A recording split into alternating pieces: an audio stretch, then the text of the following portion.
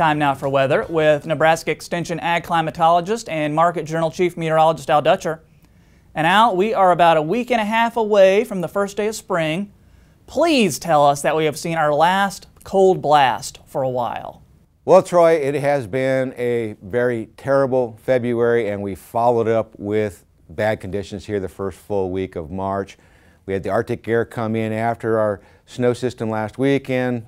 Two days of very frigid weather across the state. We started to see a warming trend on Wednesday, only to follow it up with a wave moving across the center part of the state and dropping anywhere from two to upwards of seven and a half inches of snowfall from the area just to the north of North Platte all the way over to the Lincoln Omaha metro area and into Iowa. And then, of course, the system that started to move into the state yesterday evening is now uh, basically on top of us. We've seen the temperature slowly rise. We're dealing with some rain on top of the snow, and then we're going to see a changeover as the day progresses. And then yet we deal with another system next week that potentially has even more significant rainfall with us. So the flash flood watches will probably be issued with the system on Tuesday, and we're likely to see some localized runoff issues as we progress through the next few days. So if we look at the upper air model, the system that's currently impacting us is starting to move rapidly toward the Great Lakes. It should end by the middle of the day to the early afternoon hours as it passes well to our east.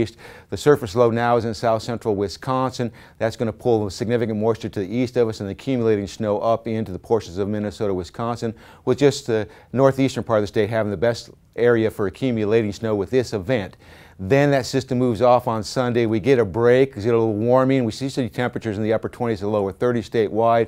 As high pressure is temporarily in control, but we do have low pressure that's going to be forming in the southwest, and it's going to start to move its way. So we do get one break here uh, on the second half of the weekend, and then we see this deep of moisture starting to come into our region, and it looks like that moisture will arrive as we get into Monday afternoon into Monday evening across the state. That's going to bring a lot of warmth into our region, and we're going to start to see the precipitation stream northward, especially as we get into the day on Tuesday, as we have a straight north flow from the jet, or say south flow to north flow from the jet, bringing in copious moisture from the Gulf of Mexico. Surface low develops in Texas.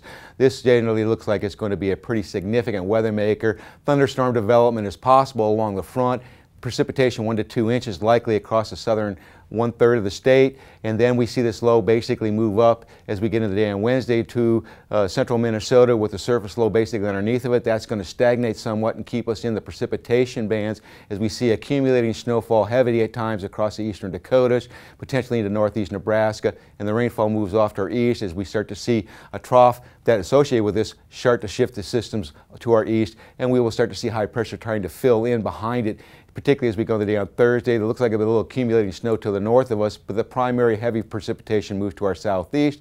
And this basically, this trough stagnates for a couple of days in the upper Midwest. That's going to keep conditions a little bit cooler than normal, but we're not looking at Arctic air at this standpoint. And basically, high pressure moves in, and it may lead us to a fairly dry period in the extended forecast as most of the precipitation moves off to the eastern seaboard.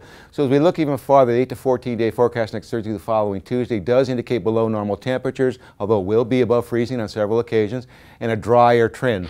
So Troy, if we can get by this week, it looks like at least we have a little bit of light at the tunnel. Watch out for some of the flash flooding with these two precipitation events.